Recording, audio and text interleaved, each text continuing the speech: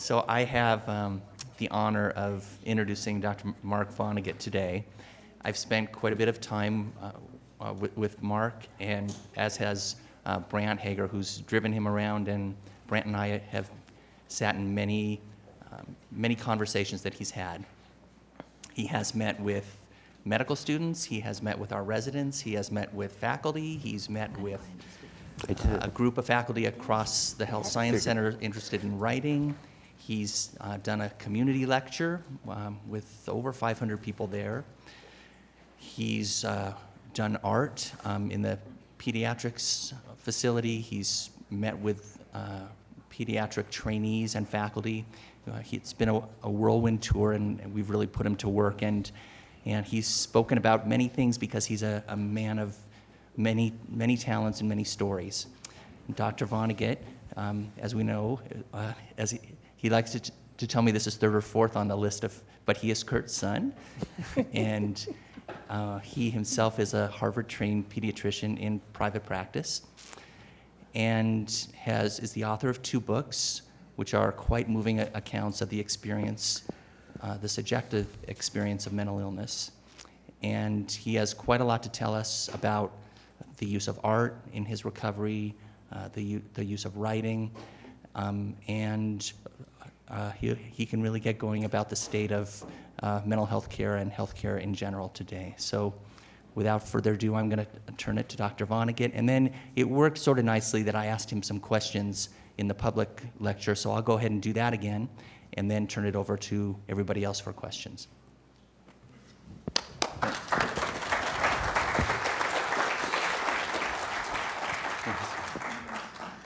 I'm, I'm really glad to be here. I think Albuquerque is a wonderful place. Um, and I've told some people Boston is sort of depressed. I think it's generally depressed, but, um, but Albuquerque, if you don't feel lucky to be living here, I feel sorry for you. Um, I thought I would do a short reading and then uh, show a bunch of slides. The challenge, the fun of the public thing was that none of the slides worked, none of the music worked, and still nothing bad happened. So, but it was really nice because we had the flex factor of uh, Jeff getting up here and talking to me uh, afterwards. But um, so what I thought I would do is a short reading and then go through these slides. Uh, these slides are stolen from things I said mostly at NAMI meetings. Um, which is a which is a very fun audience, uh, uh, and I love NAMI dearly. Um, I love them all the more for their inappropriate questions sometimes. uh, one of them uh, was they said, of course you are going to donate your royalties to NAMI. I said, I said, not really, I need the money. anyway. There are now a million templates and decision trees and practice guidelines, the underlying intent of which is to make medicine and medical care idiot proof. Medicine cannot be made idiot proof because idiots will always find a way to start or end in the wrong place. Now, this is in pediatrics. The doctor gets credit for a 99214 ICD 9 493.10 and will be paid as such with a bonus uh, if you throw in the asthma diagnosis, with a bonus for asthma management under the QI Asthma Initiative. Unfortunately, asthma may or may not have much to do with what was bothering the patient. And what I've been astounded about is how easy it is to get well paid for doing a crummy job. In fact, you can often get paid better for doing a crummy job. There is something very pure and easy to screw up about trying to do the right thing without doing harm. Medical care has become a minefield of incentives that distort that purity. A doctor whose productivity incentives demand that he see four to six patients an hour, that's in pediatrics, um, delivers different care from one setting his or her own pace. A doctor under time pressure is more likely to come up with a quick diagnosis and treatment. Checklists and productivity goals become proxies for care. The proxies are what you get paid for, and the care goes to hell. My wife has taken some of the off-center things I say and made needle points of them. And uh, one of them being scattered, it helps me get more than one thing done in a day. And the other one is, uh, I, this is, these are the ones that are on the waiting list. The less you have wrong with you, the longer it will take me to find it. Um, it's much faster and more profitable to do a test than to explain why it's not necessary. And the one for myself in my private office says, Beware of what you get paid for. Now, if medical care makes people poor and dependent, it's no different from cancer, whooping cough, or malaria. And uh, so that's, um, that's just, uh, the book was a great, it was a lot of fun to read and a lot, mostly fun because I don't, you know, I've been lucky with art and writing and whatever to have enough different things I do that I don't have to get paid for it, so it makes it more fun. So I'm going to run through these slides and, um, and uh, we'll see what happens. This is really, just by standing up here, what I want you to know is people with severe mental illness can get better. And how they're treated makes a huge difference. 40 years ago, I was 127 pounds, disheveled, uh, utterly incoherent, and uh, uh, the fact that I was treated kindly. Um, I was diagnosed as schizophrenic, which I do believe is sort of a sicker than most, don't think he's going to get better kind of thing. Uh, but, um, but through time, and when I'm talking about diagnosis, is I was then promoted to a schizophrenic who might benefit from lithium, and from there I was diagnosed. I was promoted to manic depressive. Um, when I was admitted to medical school, there was an argument about the the uh, schizophrenic thing, and I swear that Harvard admitted me to prove to themselves and to myself, and that their reasoning went like, if you were schizophrenic, we would not admit you. We are admitting you, therefore you're not schizophrenic. and, um, and I, you know, they asked me, and I said, I love being on this side of the argument. I really love being on the. Without a commitment from the general society to the idea of taking good care of the mentally ill and the resources to back it up, doctors can only do so much. So people ask me all the time what they can do, and a lot of times there's nothing, there's not much you can do about managed care or whatever. Um, but we can be aware of it, and we can talk about it, and we can, you know, and we can try to see and uh, change the public image and the professional image to mental illness as not something, these people are not other. A society that believes in non care will get non care. Um, our crowded jails and prisons and homelessness are 90% untreated mental illness. Plus, we're sowing the seeds of destruction because uh, the pro, whatever the cause of, of an awful lot of mental illness, especially mental illness where people don't get better, is having parents who have mental illness who don't get better. I have a lot of friends who are a lot, very, as sick as me, and I get to be married to somebody who likes me, and I have children who like me.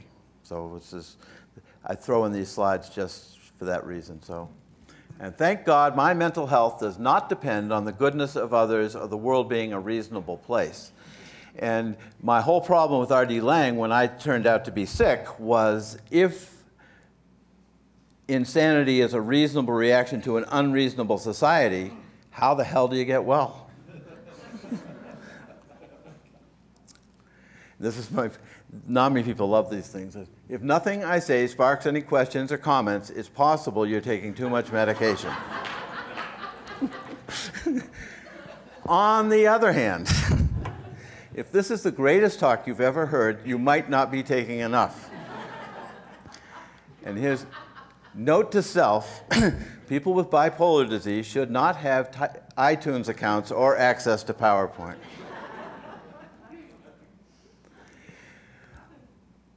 The thing that I was very excited about uh, was that mental illness was nothing like what I thought it was when I got a little bit of recovery 40 years ago.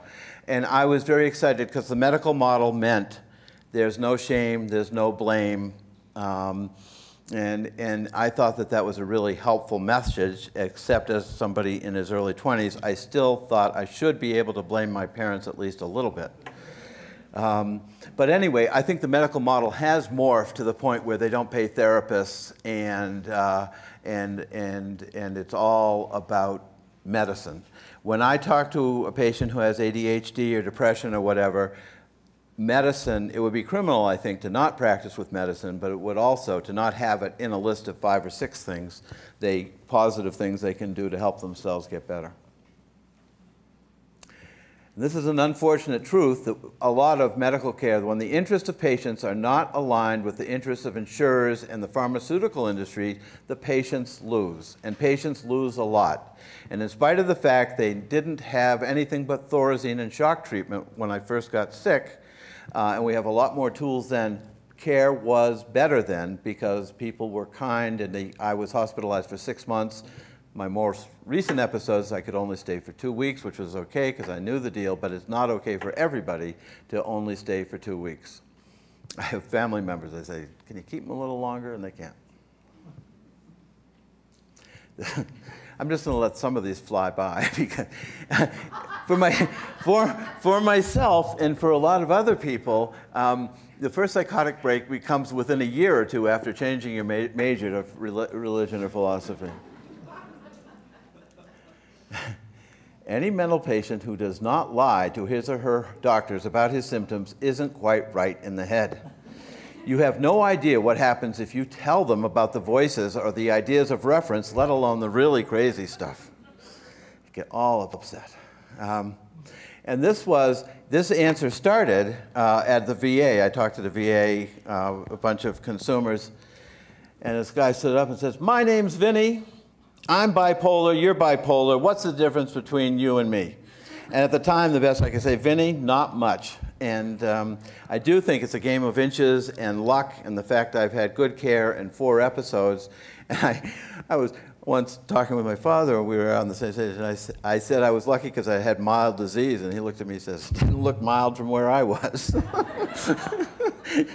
um, but I've been, I, have been really lucky. And that has, and then at a, at a NAMI meeting, I would say, say, well, you have a wife and kids, They're, right there they are, you go to work every day.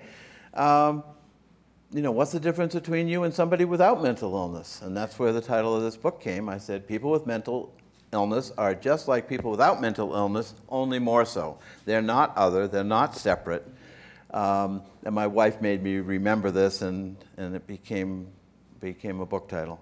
I set two, two records with the publication of this book. Uh, one was 35 years in between first and second books.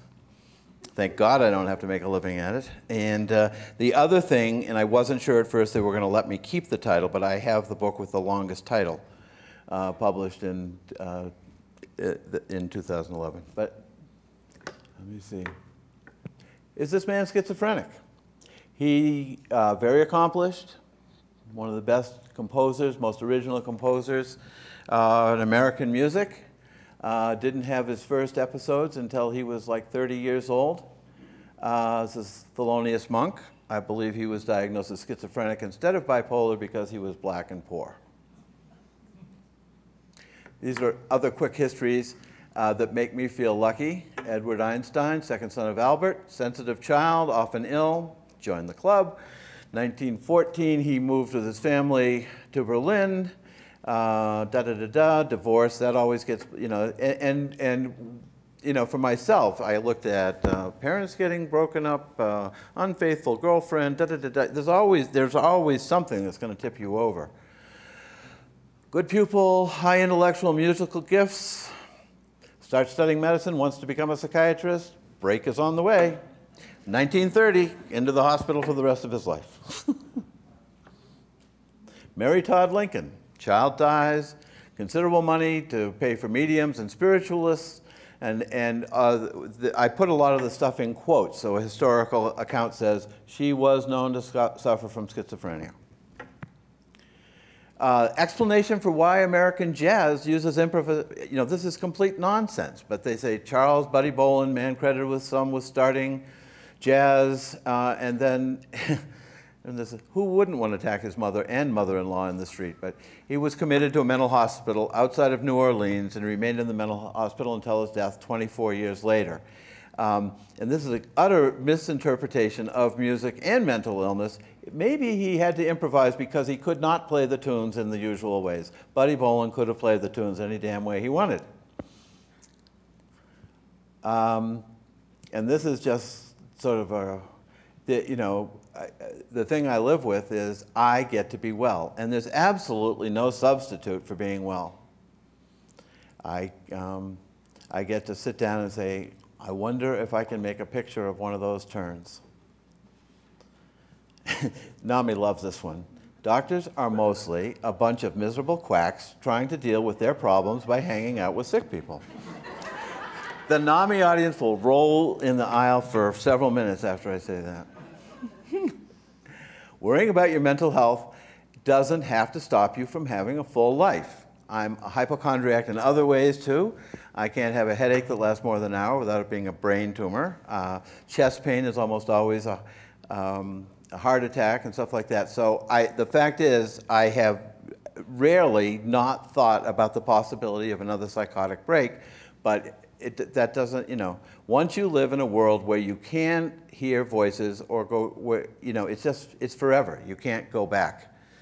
And another, one of my favorite organizations, the, um, the saying is, if you're a cucumber and you become a pickle, you can't become a cucumber again. Uh, I worked hard to try to get the picture of what tiger lilies on the side of the road look like. Loss to follow-up is the best outcome a health insurer can hope for. The wonderful thing about the VA is it's a setting where they cannot find some way to make their patients uninsured, homeless, and therefore uh, get to pocket the money that they paid for insurance.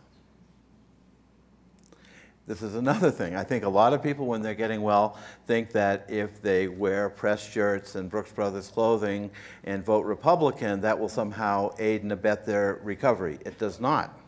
And so if you refuse to entertain odd thoughts, it will not make you well. If you're well, you can entertain all the odd thoughts you like, and I do. And the best defense against the seduction that mental illness will make you creative is to actually be creative. There are a lot of, of um, confusion about, about, you know, chicken egg cause and effect between creativity and mental illness. And a lot of people feel that if they just go with the illness, they are going to be creative. And one of the unpopular things I say at NAMI meetings is there's a huge difference in believing you can fly and actually flying. And I have yet to see good painting, good poetry, good art from somebody who chucks their meds and decides to go with the illness. Van Gogh said that he quiets the noise by painting, and he became the painter he was by trying to get away from the illness, not by surrendering and going with it. And for myself, all this painting and stuff, I never knew why I did it until recently, and it's to quiet the noise. I love being on call. I love having the possibility of working on a painting. You know, pretty good, huh? you know, to me, it's such a thrill to have been able to do that. And so, finding small positive steps is big. Another part of manic depression is you think it's going to be a big answer. You know, it's going to be the perfect doctor or the perfect hospital or the perfect medicine or whatever. But in my experience, you find very small steps that lead to other positive steps.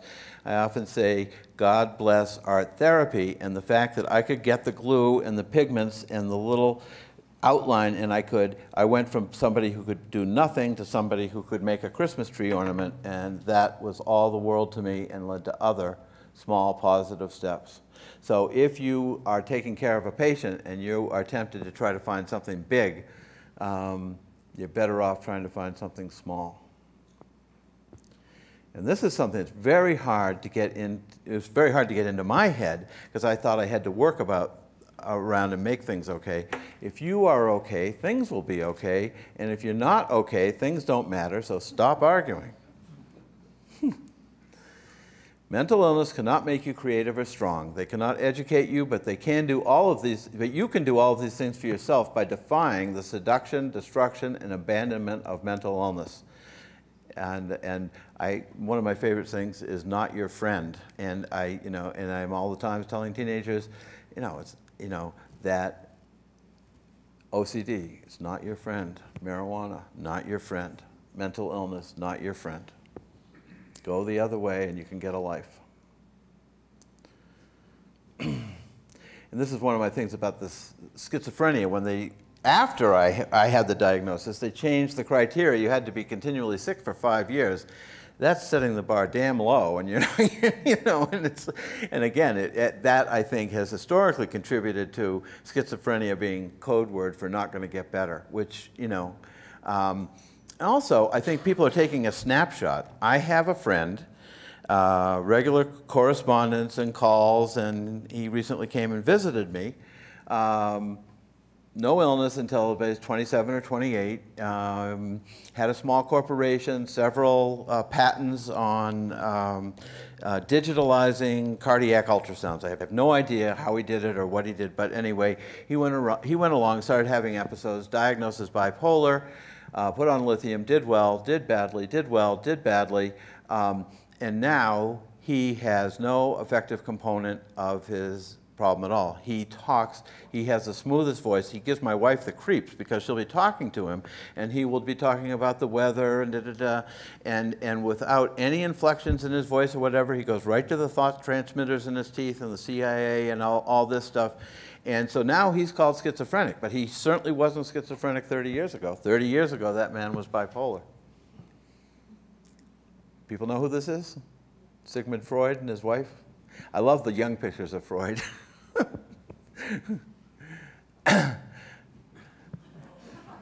That's not illness.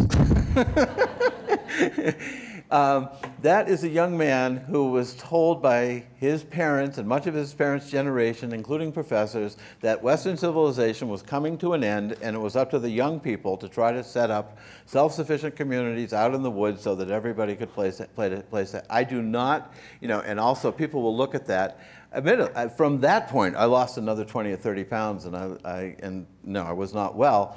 But that's not illness. That's, you know, hippies made two mistakes. We didn't know that the world really wasn't ending, but you know, it's kind of hard to tell that. Um, I like what Yogi Berra said about the future. The thing about the future is it hasn't happened yet.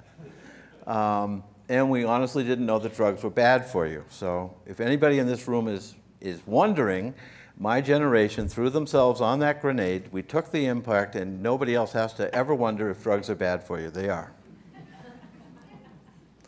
and I think a lot of the horrible shape I was in at diagnosis, I'd been kept out of the hospital uh, by my friends. Um, and who were, who were all down with this thing about there was no such thing of mental illness until there wasn't enough oxygen in the room one day, and I took out the picture window and did a few other things, and um, they had to do something with me. So I think the schizophrenia had to do with, at that time, um, all doctors, I love the informality of Albuquerque, but all the doctors wear suits and ties and tie clips and da da da da. da. And, and as I was think that schizophrenia is associated with the underclass, I was sort of a volunteer member of the underclass as a hippie. I've, i told you got this about the fun, fun with the Harvard Admissions Committee, which I later became a member of, which, which I just absolutely, I had a great time. I, I couldn't stop smiling. I have been waiting for the unequivocal biochemical markers and genetics that have, that have been promised any day now, but this has been going on for 40 goddamn years. I have been saying, when are we going to have a clean diagnostic? Uh, but what I really think, because I'm talking to uh, in a psychiatric round rounds, I think psychiatry had such a hard time uh, giving up Freud, and they say, okay, okay, okay, we, we got to give up Freud, but, and then there's Kraepelin, and his diagnosis by outcome says that we can't give up him. You know, we got to stick with him. And I think that's where the diagnostic, you know, you guys still like that psychodynamics at all, or whatever? the important part of all this is that patients not be given up on. If you take somebody with schizophrenia or bipolar disease or PTSD or severe depression and you don't keep them warm and safe and fed and housed, you are going to get a permanently broken person. Um, What I see all the time in 12 step programs and clubhouse movements, and um, I love the clubhouse movement. Down here in the Northeast, they have a lot of these things which are, are run. Uh, they're, they're a location and a place to go uh, and uh, that are entirely run by um, psychiatric patients in various times. But what, I, what you see is a lot of the severe, severely ill people, the type I learned in medical school who would never get better, they can and do make remarkable progress if given a little kindness and support. This is the most patient dog of all times. I got to take a rundown house and, and, and make it a home. I get to have a dining room where I put up my paintings, and I can walk by this and say, I don't know, maybe the shadow should be a little deeper, maybe the, someday maybe I'll take it out of the frame and work on it. This is, uh, my father's certainly not known for his sculpture, but that's not bad, you know, for an author who, I mean, he could carve, he could paint, he could do all that stuff. And I, until I started writing this book, I honestly thought that the arts were sort of an interesting parallel thing in the family, and I never connected them with the resilience which allowed him to survive PTSD uh, and be a writer. Um, and, what, and the arts were really there holding my hand and helped me get up off the floor when otherwise I would have been just another broken young man. More fun. I get to make that bookshelf. That's a sculpture, very important for physicians to keep the balance between love and work. Wife, child, child again. I, this is, you know, and uh, the fact that you know, I, I was, it was horrible for me to have the fourth break while I was a physician, to end up in four-point restraints in the emergency room where I was used to being sort of important and everything. But somehow, some way, it ended up with me uh, being able actually to be a lot softer, married to somebody who likes me, and, uh, and I got at the age of 55, and I always apologize him to him for having an old father, but he doesn't seem to mind. He says, It's okay, Dad.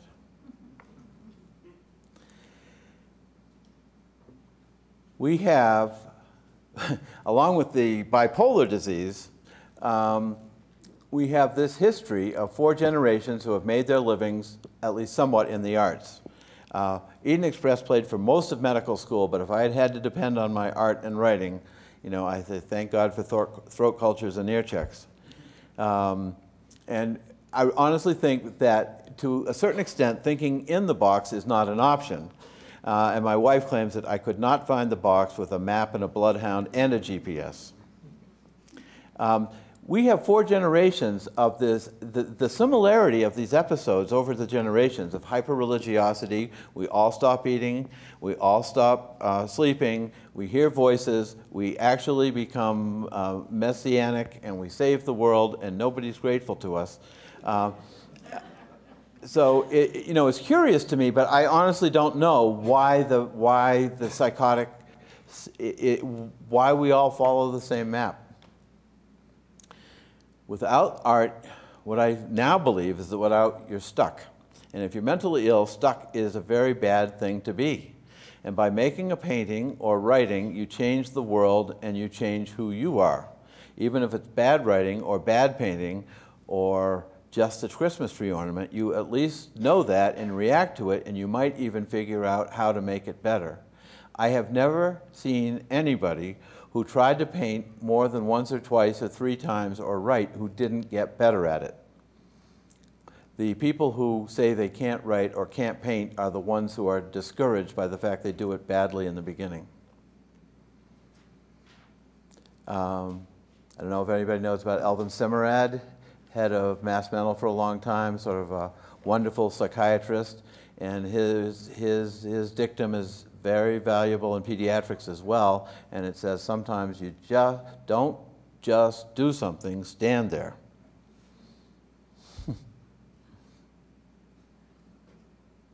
and I honestly don't understand how people without loose associations and flights of ideas get much done. The myth, the myth of mental wellness.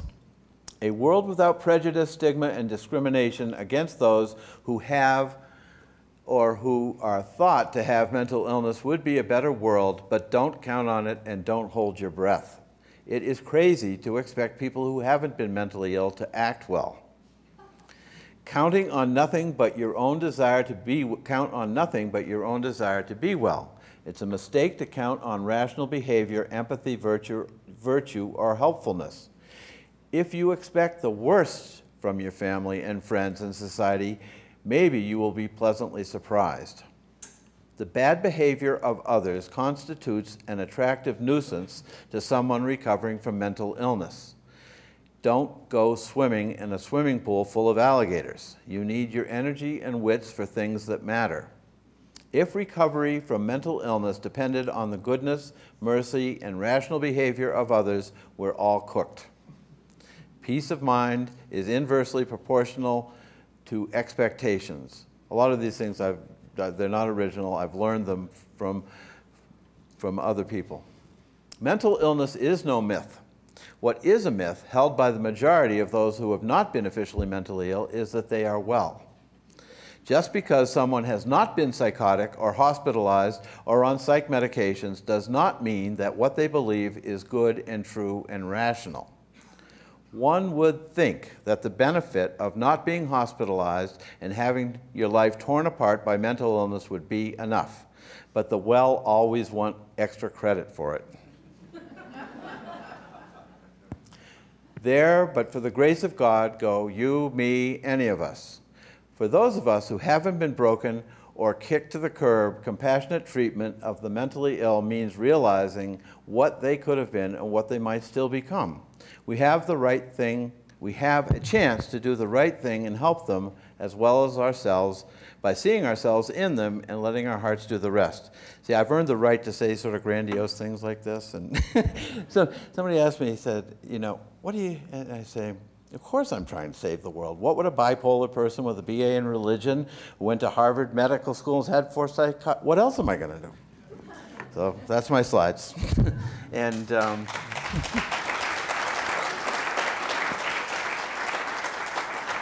going? Oh, I mean, it's been a wonderful opportunity for me, and I've learned an awful lot about, you know, it, sometimes it takes people asking me questions to help me figure out what I think about stuff. Right.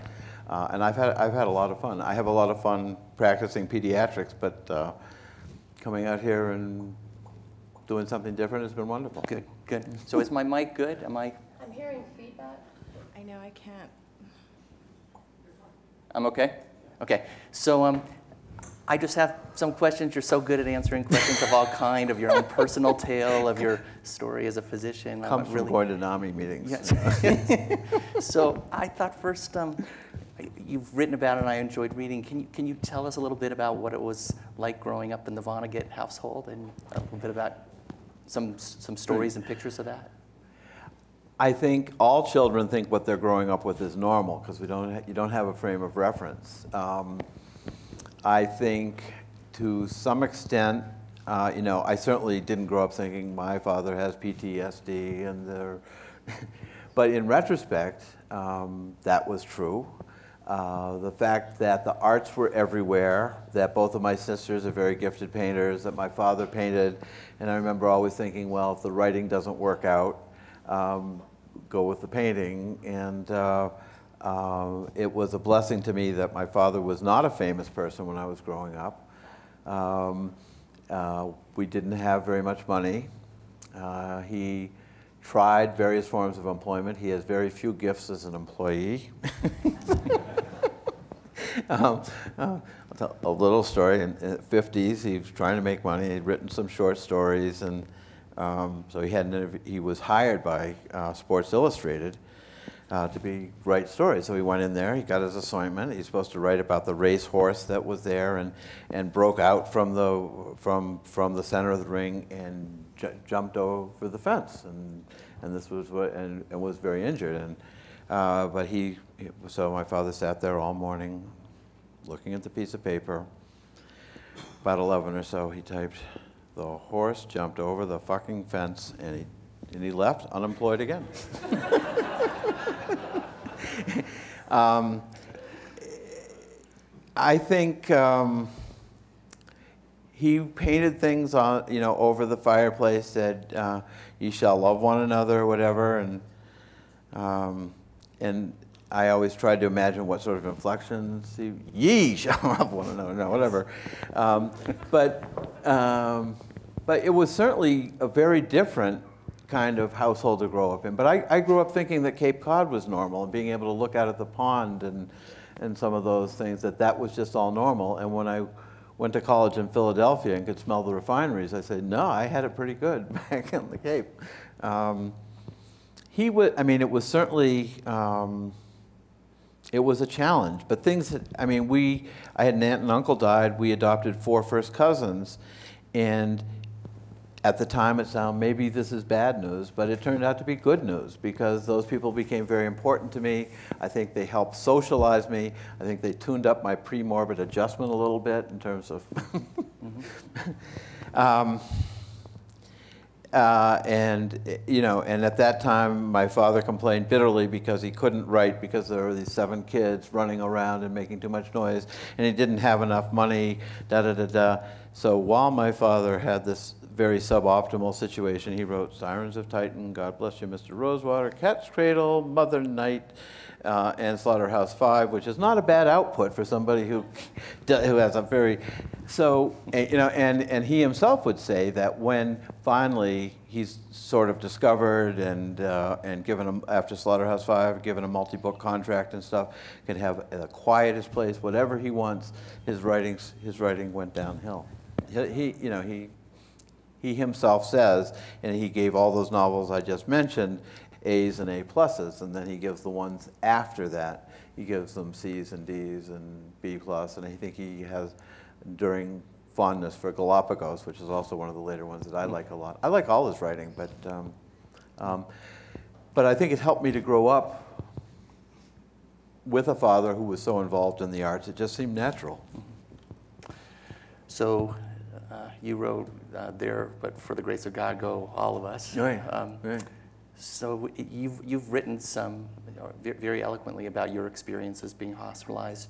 What do you think has been the most important in, in terms of your unbelievable success as a physician, as a father, mm-hmm. as a writer, as a speaker to hundreds of people? I mean, what, what's been the most important for you in, um, in your recovery? I think there are other people who are recovering just as well, and they write me letters and stuff, but they somehow have the good sense to shut up about it. Part of my illness, the very first break, I was quite sure I was going to die. But I was told that by the voices, who were sometimes useful, uh, that if I remembered a lot of details and I told the truth about what was happening to me, I might be able to survive. I told the voices, yeah, but how, after I've seen the inner workings of the universe and, and talked to Dostoevsky and Van Gogh, how, once I've done all that, how am I going to get to go back? And they say, we're going to tell people that you were crazy and you're in a psych hospital. And I said, nobody's going to believe that. so, so, and I think to some extent, I stumbled into um, being honest about the illness because when I was applying to medical school, there was really no good way to make sense out of the fact I was six years older than all the other applicants.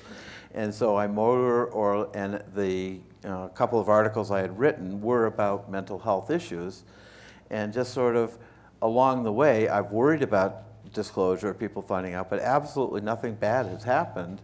But I understand why people, uh, and I think it's easier it's much easier to be a mentally ill doctor than a mentally ill carpenter or truck driver uh, because I think people can see that I'm trusted, I do a good job. Um, so I think, I, think, I think a lot of people get better and an awful lot of people who recover well enough, um, they don't talk about it much. So this is part of my illness that I. that you're talking to us right, right now. Right. Mine too. yeah. So, you know, Mark, one of the things that I do is worry about uh, how we train medical students, how mm-hmm. we train psychiatry residents. Do you have any thoughts uh, to share with us about important things that we ought to be teaching uh, people who are going into psychiatry? I worry about doctors in general are being trained uh, um, to do a lot of things that aren't fun. The, the lengthy review of systems, which a pediatrician is supposed to ask a new parent about car seats and this and that and stuff, I think it's very deadening to care. And I think if you relate to a person, try to find out what they're interested in doing and try to do that rather than arrive at a way to level the visit and da da da da da da. Uh, and I think, I hope and pray that all of that nonsense is going to go away. And we're going to get back to taking care of the patients face to face. And I just hope we, have, we don't forget how to do it. And I tell pediatricians all the time to read um, the doctor stories um, and to read novels that they cared about before they got into medicine, to try to keep, uh, you know, the excitement of being, you know, being a doctor is an incredible privilege. But because we have to do all the boilerplate and stuff, we kind of lose, we lose track of what a privilege it is. So tell us a little bit about the role of your family um, in your recovery, um, all of your family, and, and, and how they've helped you, and how we might conceptualize working with families and helping people Yeah. to. Um, what came to mind is the fact that my two older kids actually saw me psychotic, which is something I would have paid a million dollars to avoid. But that has led to a closeness uh, with them and how grateful they, am, they are that I'm not sick anymore. And, and it has allowed me to be a help to their friends and families who end up in mental health problems and stuff like that. So as much as that particular bit of disclosure, I would have given, and, you know, somehow there's enough love going around that that, you know, but if you, if you say, okay, which is worse, four-point restraints, the emergency room where you're attending, or, you know, having your own son see you psychotic, they're, they're both pretty bad. Um, But I think, you know, I now have the model, and I have the luxury of that being 25 years ago, so, so, you know, not completely confident, but it's gone well so far. And your current family? Oh, they're one, yeah, yeah, I, I actually, again, I would have told you that my ambition was to be married at most once. And, uh, and I, I purposely, I think, as a person who, with a huge chip on his shoulder, having been sick the first time, picked somebody who had very little tolerance for me or illness. Uh, she has nothing wrong with her, she's a wonderful woman, but, you know, it didn't, but the end of the story ends up with me, against all odds, being married to somebody who actually likes me and we're close. And, you know, I have a, uh, you know, a nine-year-old son who, you know, it's, it's, it's, it's wonderful, you know. And we won the Milton, the town of Milton where we live, we won the Little, the Little League Championship. And um, being able to do that was a little too exciting. I said, I, I, I, wouldn't mind winning. Losing would be okay. I just want to get over quick so my heart can get back in my chest, you know. And I almost got in a fist fight with another parent because I, I, uh, I sent the runner from third base to tagged up on a fly ball because there was some polite gentleman's agreement of not doing that. And I said, anywhere in baseball, you get somebody to third, they're allowed to try to score if the ball goes up in the air. But so I, you know, being able to do that and stuff is just, it's just everything. And, um, you know, without, without a nine-year-old son, I wouldn't get to almost get in a fistfight with a parent over a Little League championship. Very good. so, uh, my last question for you is uh, what wisdom can you share with all of us about um, living a life well lived or, or living a life of meaning and what we should be thinking about? I don't know. I think a lot of the things that I was scared of, you know, uh, aren't, you know, nothing bad happens. I, I got very mad at my wife because she put a copy of my new book in my pediatric waiting room, and I wanted to keep a boundary between my, you know, that book and my pediatric practice. Um, awful, awful things came. My first patient came into the room and said, Dr. Vonnegut, I didn't know you had mental illness. I said, yeah. And now, how's Tyler doing? you know, that was it. That was the whole thing. so I think, I think, and uh, psychiatrists have this tradition they've inherited about being a blank screen for the patient to whatever. And um, I have found a ton of little things, like having my paintings on the wall, uh, which is a form of self-disclosure, whatever. Uh, it gives people something to talk about. And, and I, I was explaining to some residents, I wear socks like this so that my patients can notice, you know? And uh, Mass General Psychiatry, I think this is referred to as a limbic probe, to see if somebody notices this sort of thing. Um, so I have a good time. Um, and I, I will, I'll use absolutely everything. If things are going badly and I have a depressed teenager, I have a, I have a CD I've made called Music for Depressed Teenagers. And it starts off with the Everly Brothers saying, problems, problems, problems. And then Chuck Berry's Almost Grown. And uh, In My Room by the Beach Boys. And so I've had a lot of fun picking that out, and I can hand it to a patient along with a bunch of other things, and maybe he'll listen to that and he'll come back and he'll criticize or he'll have a piece of music or whatever. I think uh, you know, you have the option to, to- to, to use any tool you can get your hand on, and, and nothing bad happens if you do something odd like give a patient a CD of music to listen to. Great. Well, I want to thank you again for Okay. being here with us, and I'm going to just turn it to everyone else to ask what, what they might want to. So if you have any questions, please raise your hand so I can give you the mic so it can be recorded on video.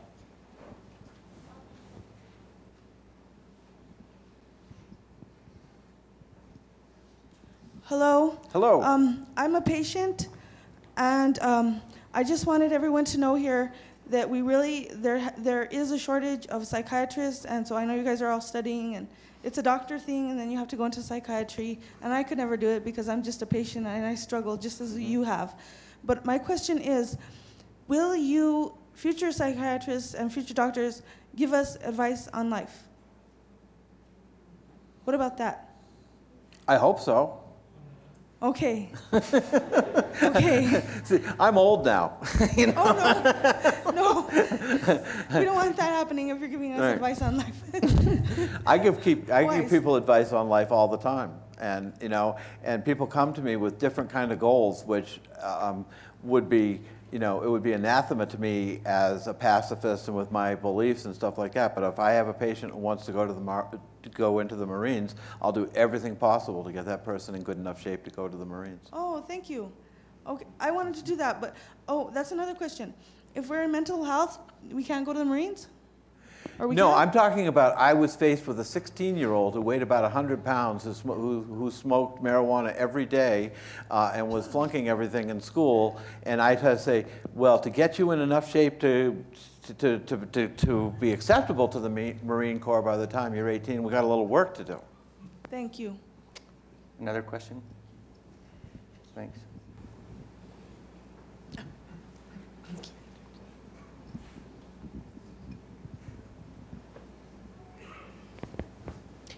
My name is David, and uh, I'm with NAMI, and I appreciate uh, your endorsements and the humor. My question has maybe more with your pediatric background. Okay? A lot of criticism recently for high incidence of diagnosis of manic depressive disease in children and adolescents. Uh, Right. Would you speak to that issue in whatever manner you see appropriate? I think kids are being overdiagnosed uh, uh, because unfortunately we don't have a blood test yet for manic depression, attention deficit disorder, depression, um, and, uh, and autism. Um, and uh, certainly I'm calling, ki- or kids are being called autistic today, which never, I just said, I used to call them a, a little odd, a little atypical, you know, a little like myself growing up. Maybe they play chess and don't play team sports so good, but, uh, but certainly I never would have called them autistic. Um, I think some of that is driven by parents wanting to get services for their kids, and if they don't have an ICD-9 diagnosis, um, they can't get those things. A lot of times, um, uh, you know, my favorite diagnosis, uh, or you know, something I really believe is true some of the time, I just tell what I see, and uh, I can tell a parent, you know, maybe school's not his thing. You know, it's the truth. You know, and there, one of the things I think is hard about being a child now, as opposed to a child in the '50s, it wasn't a death sentence to not have to have school not be your thing. There were lots of other ways. Uh, there were lots of manufacturing jobs. There were lots of well-paying jobs and stuff. But in, today, in a suburban community, if school's not your thing, it's it's you know it's like having a disease. Uh, but that child, if a child, you know, if I really don't think they have attention deficit disorder, but they can't get a tutor unless I put an ICD-9 diagnosis on them, I'll give them the diagnosis. I also, it, you know, and that sounds like a bad thing to do, but I'm pushed to the point where I know that if I don't do it, somebody else will. And I think that that, it's, yeah, you're right. But the parents, you know, want me to do it. Everybody wants me to do it so I can get the kid a tutor. And so I think we have to, before we can change that overdiagnosis, we have to change education, we have to change class size, we have to change lots and lots of things. Dr. Vonnegut, uh, what about drugs? Uh, as a patient and uh, as a doctor, uh, what's the right uh, attitude? I think that they are one, and, and, and if I do think somebody's depressed or have ADHD or something like that, I would never say, here's your med.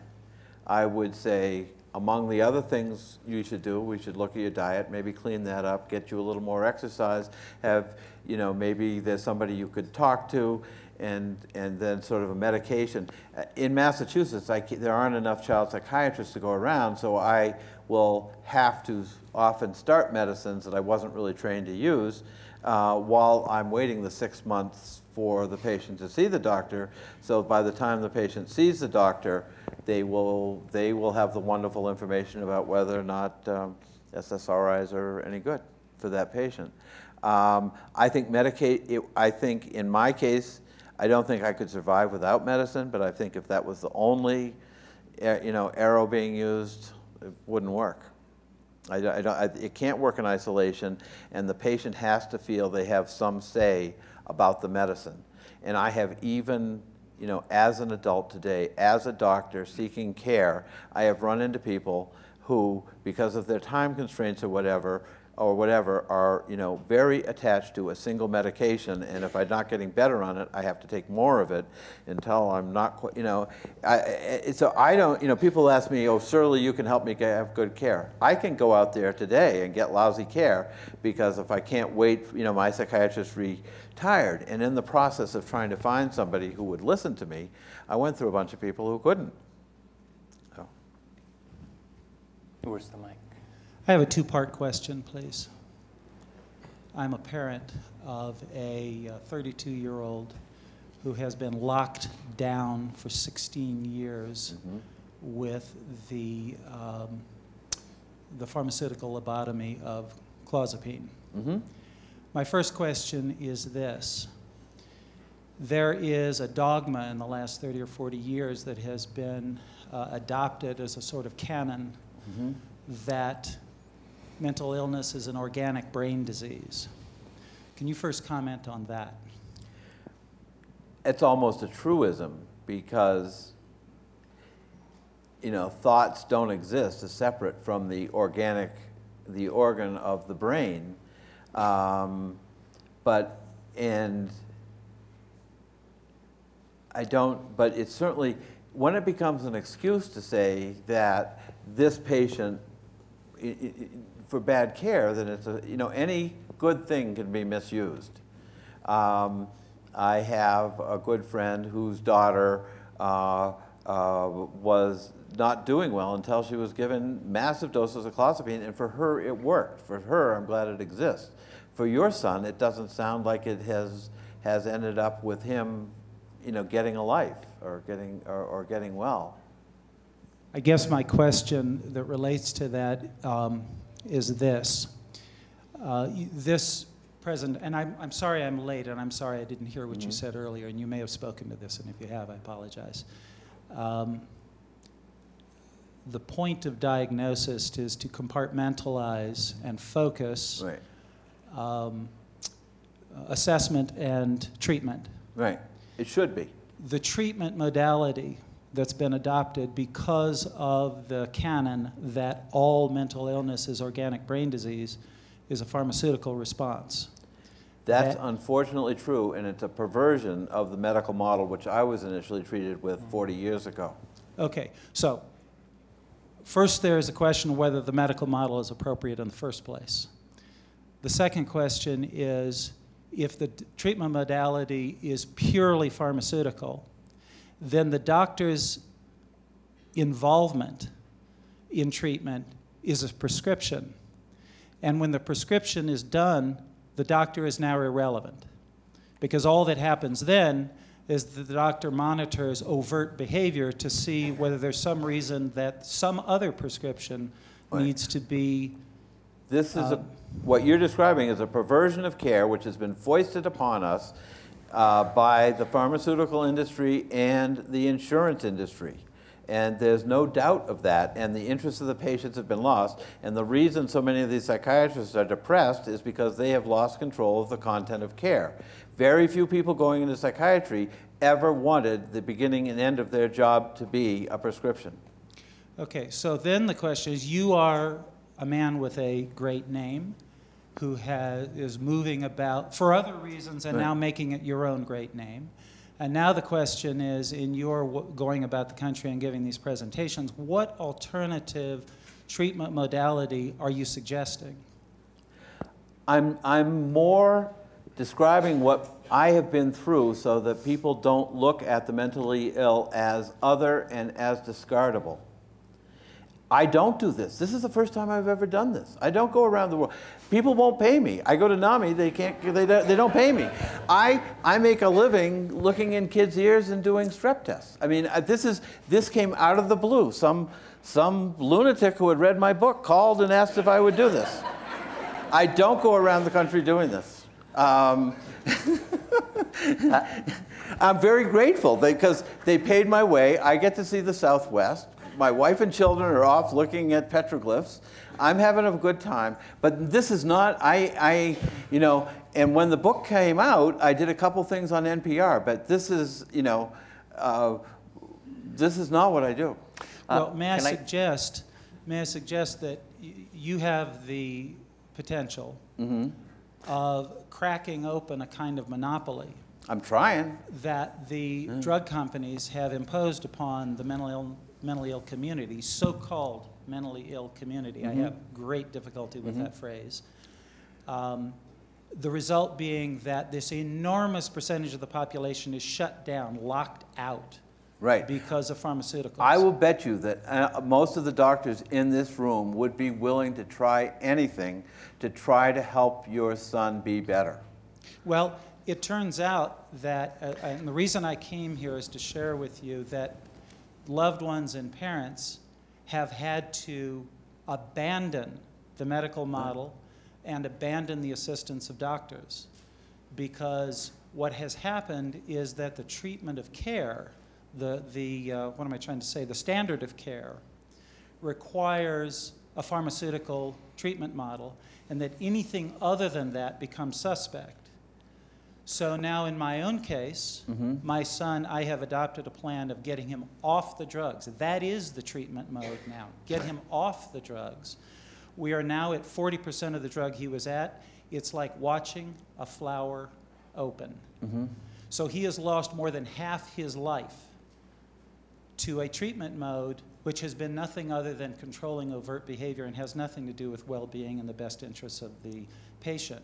So it seems to me that there is a professional question to be raised here in this room for the medical community about standard of care and why standard of care is governed by malpractice insurance, fear of consequences, rather than the best interests of the patient, quality of life, all of those kinds of issues that you have personal um, involvement with. Right. I, I, my bet is, and there are some good, uh, good books. Uh, there's Marcia Angell, who wrote The Truth About Drug Companies, editor of New England Journal of Medicine. Uh, there is Physicians for National Health Program. There are people who are desperately wanting to break what, what you're describing is unfortunately common and it's unfortunately, um, but it's a perversion of care. And I think it's a perversion of what anybody in this room really wants for anybody. Can I uh, also just add that I- think at the heart of uh, bringing Dr. Vonnegut to the department is to open up these kinds of conversations and, um, and to, to allow us to think about what we're doing, to introduce humanity into what we're doing. And, and following this uh, will be series of conversations called Let's Keep Talking um, about just the questions you're raising. Yes, I don't mean to be confrontational with Yeah, you know, no. It's to thank you Yeah. Okay. for cracking open this Yeah. question. I'm interested in uh, your, your healing process and what it was you feel about your treatment that was most helpful. Okay. There was the, the safety of the hospital, the medication, Right. and especially were there certain people that were helpful to you? There are nurses I remember. There are doctors I remember. I especially remember doctors who were willing to go against what was treatment guidelines said that I should have been on, um, you know, Thorazine for five years. I never go to medical school. I don't get a family. I don't do anything if somebody follows that treatment guideline. So I actually talked to a psychiatrist who looked me in the eye and, and, and, and weaned me off of Thorazine in about six months, which, which made it possible for me to do other stuff. Um, and I owe a lot to my family that didn't give up on me. I owe, um, uh, yeah, I think, you know, I th- and back then, when I was in the hospital, I don't think, you know, I was in the hospital for six months, and the total bill was about was under ten thousand dollars, just under ten thousand dollars. I thought that was horrible, but I don't think you guys can hospitalize somebody. I don't think anybody gets hospitalized for six months anymore, and I think a lot of the over medication is is because of the mandate under DRGs that you get people out of the hospital when, in in two weeks, which is what happened to me the last time which was fine because I knew the ropes and I wasn't as bad. But for a young person with their first psychotic break to be medicated to the gills and then thrown back into the community in two weeks is, is a travesty. Well, I'm a psychologist and a Mm-hmm. psychotherapist, so I sit in a room with the patient Mm-hmm. and talk, and I'm wondering, did you have a, a Yes. therapist that was especially helpful, and what was I, helpful? I've had several therapists, and um, the, the guy who has been the most useful to me uh, was a very versatile person who was also a Jesuit. So we could talk about early Christianity if we needed to, but he was also uh, uh, he was a trained analyst and a very good psychopharmacologist, and sometimes I needed him to be all three at the same time. And uh,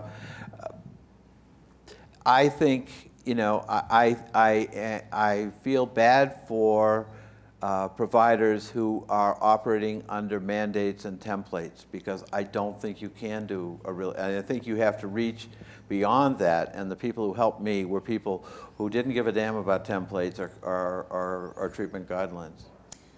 Mark? Yeah. I was wondering about, um, over here. Okay, thank you. Sorry. Uh, about the whole, yeah, it's just a disembodied They're voice. coming back. I've got them too now. I was wondering, you know, you're, you're, the, the question is, you know, does diagnosis matter? Uh, I don't know, and, and you thinking out of the box and not being able to have a roadmap if it killed you. Um, I'm wondering how people can treat without trying to define in some way what they're treating. So, um, I, I mean, doesn't diagnosis matter on some level? I think you know that somebody is psychotic, and I think that need, de- demands a certain amount of treatment. And I think psych, being that sick is, uh, I think it's a medical emergency like a seizure. And the people I know in my family and friends who haven't done well have been the ones who have had um, 14 or 24 or 40 breaks instead of the four I've had. And the people who have let the natural history evolve. Um, I- you know, I think uh, times I, I've gotten sick, I've been, I was initially treated with massive doses of Thorazine. Next time it was massive doses of Haldol, and I'm sure this time it would be net massive doses of something else. But the point was to stop the psychotic state to the point where, you know, you could talk to me. Um, but I and but as I say, when I left the hospital on 103 times a day of Thorazine, I don't think I could have gone to medical school on 103 times a day. And I'm very grateful to the doctors who saw that I, as an individual, could use less medicine and got me off it. Yeah. What? That wasn't diagnosis. No, I think it was responding to me. I, I, I, I think you guys are still really uh, blowing smoke when you call somebody schizophrenic or manic depressive. I think you're looking, I think you're, you're looking at social class and how well you think the patient's going to be. And I still think, as it was in 1971, somebody looked at me, say, sick, sick bastard, uh, dirty, smells bad, probably not going to get better. Any uh, words of wisdom to uh, those of us graduating adult psychiatrist and or child fellows in, in the room? Any other words of wisdom for us? I think have a good time, find your own style, and, and identify something that the patient wants that you can want for them too. If it's going into the Marines, then find a way to get the patient in good enough shape to go to the Marines. Or uh, I think everybody wants the trouble to stop, and if you say it that way, or you find something that the patient wants and you help them get there. Uh, I think the idea of confronting them with symptoms and saying that these symptoms are abnormal and we're going to stop them is not going to work.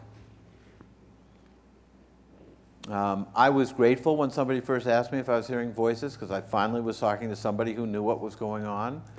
Um, and the fact that my voices had become, you know, demeaning and unpleasant to talk to means that I, at that point, could identify with somebody who wanted to help me stop the voices. But uh, if you had talked to me a week earlier and the voices were my friends and I was about to learn how the universe worked and, uh, and the good stuff was happening, I, I might not have at that point wanted your help to stop the voices. I would have wanted help to make the trouble stop. I, I knew I was in trouble. Hi. As an art therapist, I'd like to thank you for affirming the value of art making and, and the, the role it had in your life.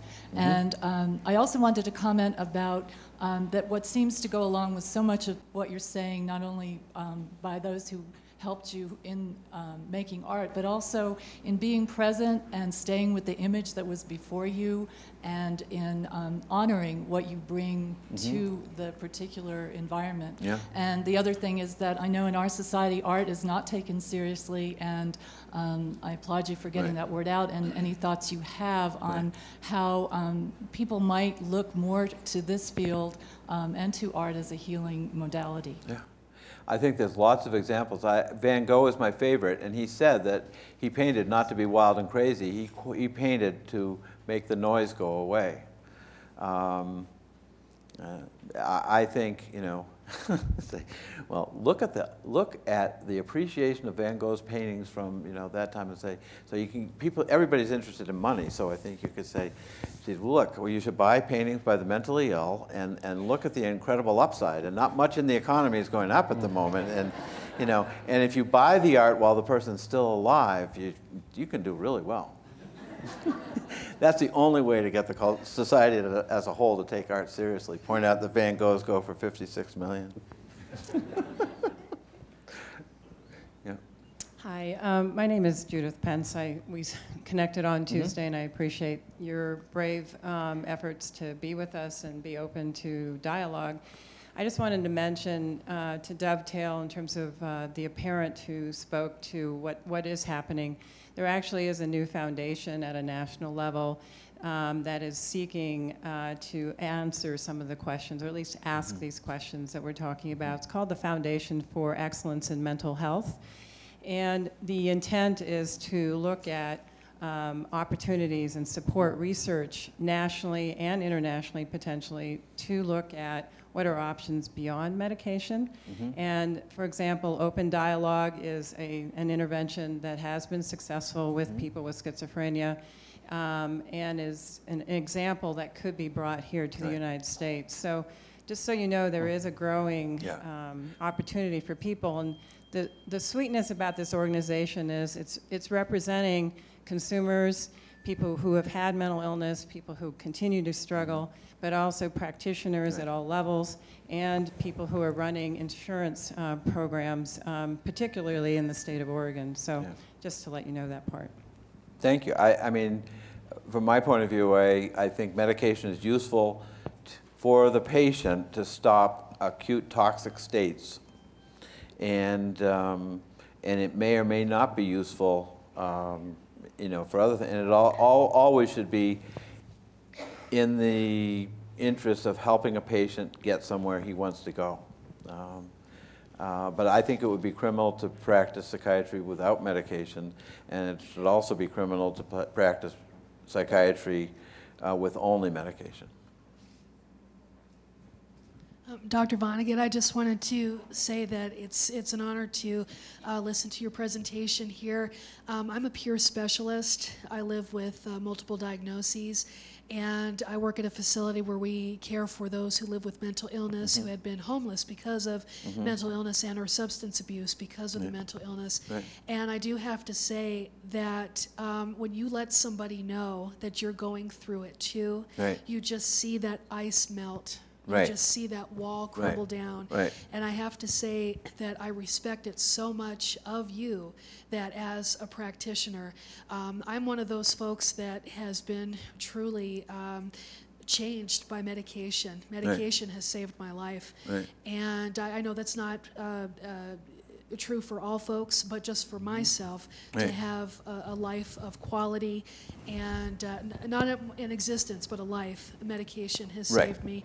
I've been very fortunate with excellent doctors. Right. And I've always said that people choose psychiatry for a reason. Either somebody they knew has been affected or they want to make a difference.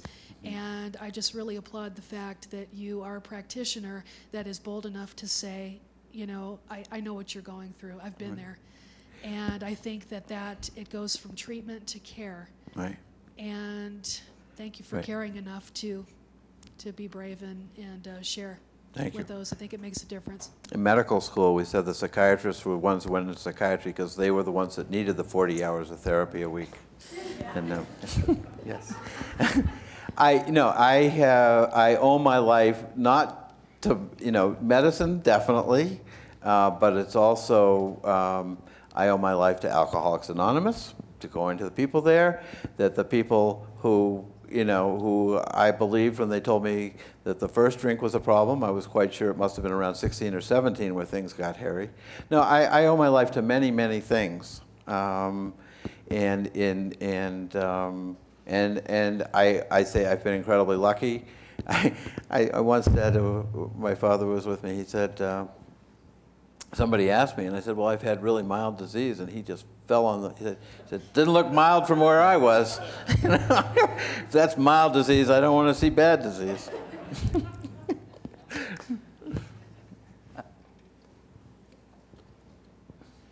Thank you for coming to visit. I have two very broad brush questions.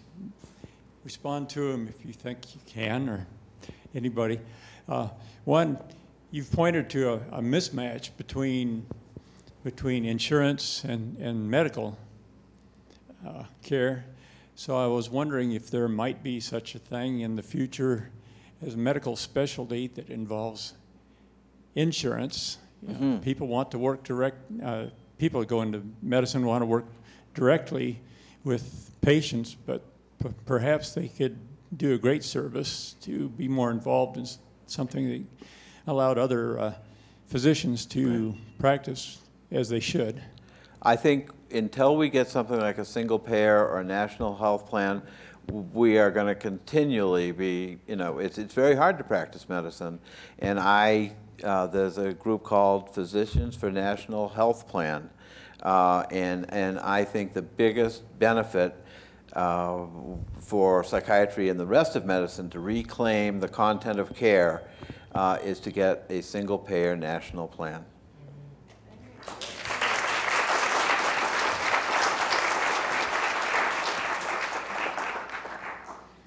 One more comment, uh, talking about the, the brain itself, uh, the organic uh, root of mental illness. You know, we, it seems like there's a very fine line, and, and uh, in other words, all of us have these uh, far-flung thoughts and experiences when we were when we are asleep. So these are not things that our Yeah. brains are not uh, intended to do. It's just that when we have, it seems like it's nothing more than uh, a, a minor sleep disorder that allows these things to enter our consciousness when we're awake. That's I said, the difference between somebody who is disabled by this kind of thinking and somebody who just has, I mean, it is, it's non-existent. I mean, the difference between me and friends who have had very similar histories is I don't, I feel, I feel lucky that I am not chronically ill with tardive dyskinesia like some of the people I grew up with, but you know, I, it's, it, it is. It's, it's, it's such a fine line, I don't think it's a line at all. I have another question for you. Okay. so, um, I actually read your book electronically and was so moved by some of the things that you wrote, I learned how to make little highlights. Um, so, thank you for teaching me how to do that. Um, so, I, I was, I've been taken really by your, uh, your statements and concept of, of resiliency and what a person needs to do to take care of themselves, regardless of who they are. And um, here's one quote of yours. You wrote, if you take good care of any disease by eating well, sleeping well, being aware of your health, consciously writing to be well, not smoking, etc., you are doing all the same things you should be doing anyway, but somehow having a disease makes them easier to do. A human without a disease is like a ship without a rudder. I like that too. Yeah. yeah. so I found a good one. I really like that. I wondered if you could talk a little bit about that idea. Um, I think it's true. Uh, I stole a little bit, for there was a famous internist whose name is, who, who said, if you want to live a long time, find a mild disease and take really good care of it. So I stole that. So. Yeah.